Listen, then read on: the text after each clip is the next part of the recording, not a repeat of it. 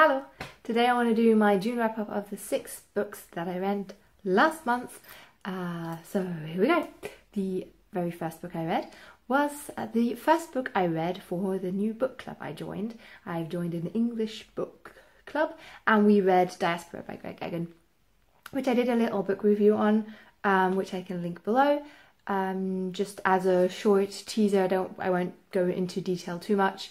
I gave it two out of five stars in Goodreads, um, which does not mean that I didn't find it interesting. Diaspora is a science fiction novel um, set in a post-human world, so you question a lot about identity and um, genetics and research, and those are sort of the big themes.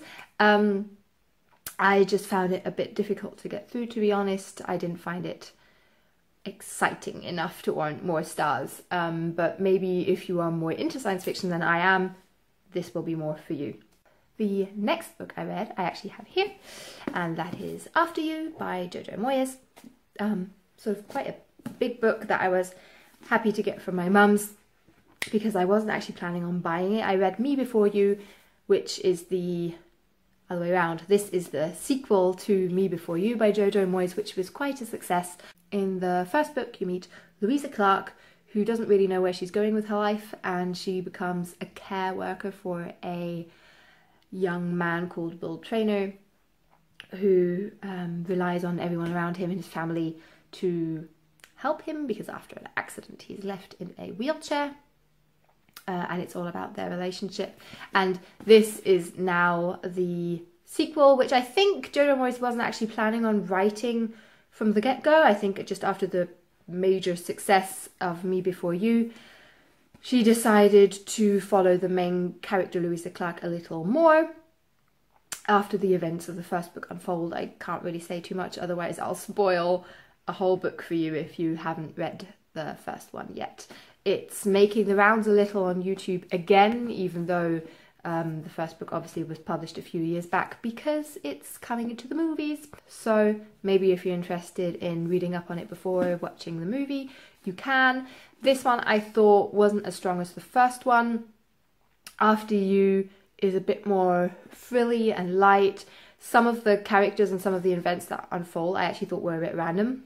Uh, so I've read better ones. I've even if you want something a bit more light from Jojo Moyes, which isn't Me Before You, I suggest reading One Plus One or The One Plus One. Um, uh, that's also quite, well, serious themes but lighter tone on the whole.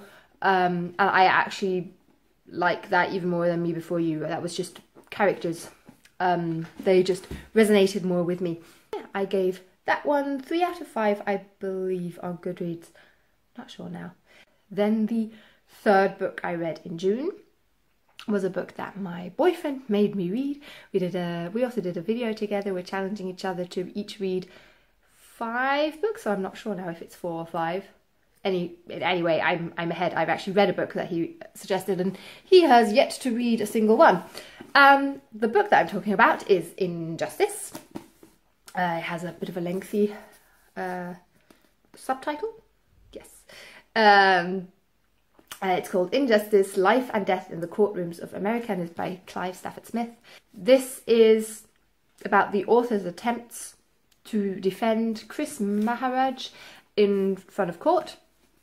Kris Maharaj in the 80s is uh, sentenced to death for two murders, and the author of the book, who is a lawyer, is convinced of his innocence basically, and he unravels the case and highlights the role that all the different institutions in a way or or, or people involved um, are responsible for this in his opinion unjust uh, ruling. It was a very interesting book to read.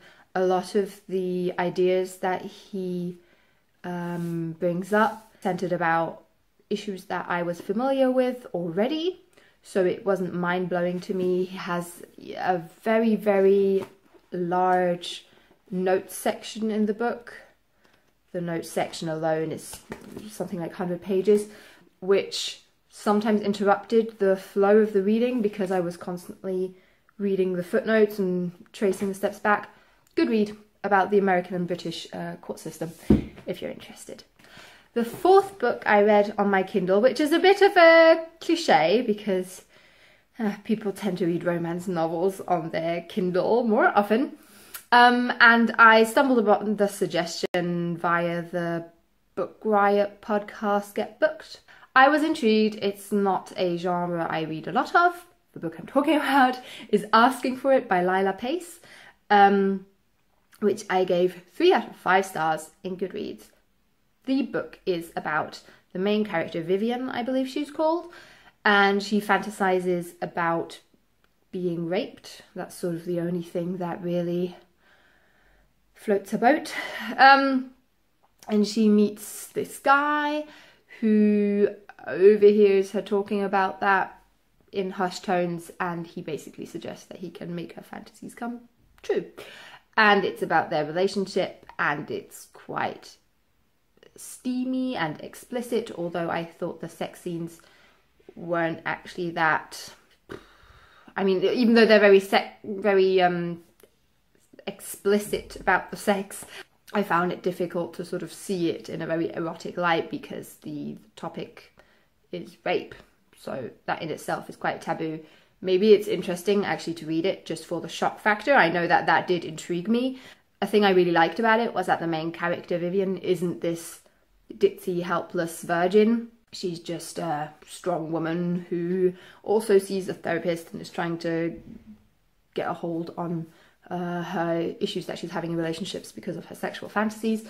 Um, I did, however, find it a bit disappointing that all the characters have a sort of history that explains psychologically what's wrong with them. And I thought that was a bit of a shame because I thought, well, why does there have to be something wrong with them? Why can't it just be a sort of fetish or kink without it meaning that their minds are totally derailed?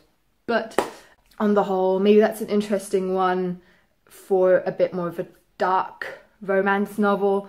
I did fly through it. It did, even though I would like to be all elitist about it and tilt my head up at a romance novel, it did really keep me reading. So that in itself, I think, is a sign of quite an enticing book. Um, yeah.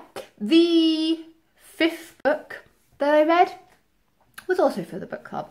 We read The Vegetarian uh, by Han Kang, Han Kang. I've heard it pronounced in numerous ways now, and I have to um, admit that I haven't researched how to pronounce that Korean name. It's been translated into English uh, and has recently won the International Man Booker Prize. So we were intrigued to read it because of all the hype.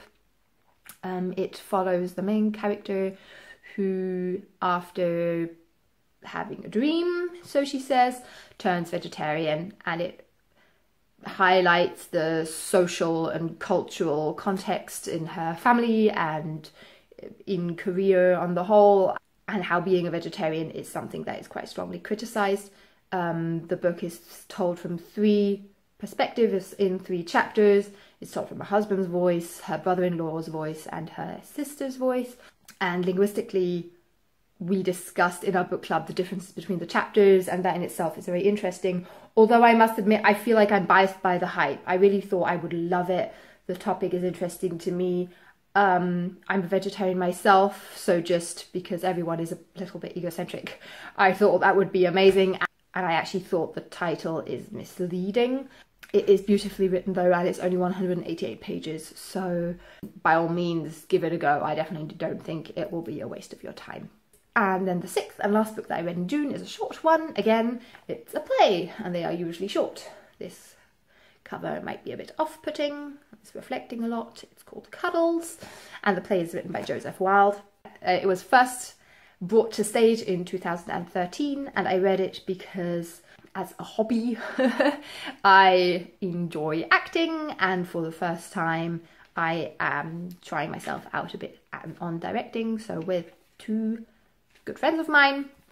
We are playing around with this. It's a two female play, which in itself is great because it's rare and women are underrepresented in theatre plays.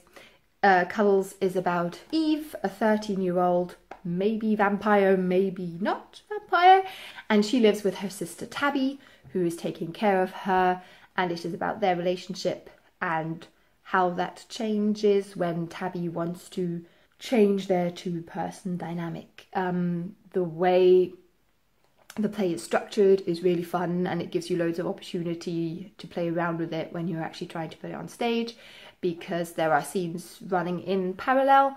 Um, so that's just really fun for the actresses trying themselves out with the text. It's a great one. I gave it five out of five. I'm biased because uh, I'm diving into the text a little more than when I would just read it. I can really um, wholeheartedly recommend it. It's, I mean, the cover does sort of show it's quite dark. Um, and if you're a bit squeamish, then this might also not be great for you. And it has some tough um, topics being discussed. People always talk about trigger warnings. This applies to this book, but I think nothing is used in a sensationalist way. I think it all makes sense. And I read a romance novel about rape this month, so apparently that is a bit of a theme all of these six books I'm glad that I read, even though I liked some more than others. I'd really like to hear what you liked most this month. Maybe some of you have read any of these books and would like to give me your opinion on it. Um, that's always more fun than just living on your own with your opinion with no one to share it with. Um, I hope you have a wonderful July. I'm late with this wrap up, so I'll better get a move on. And I hope you have a great day. Bye bye.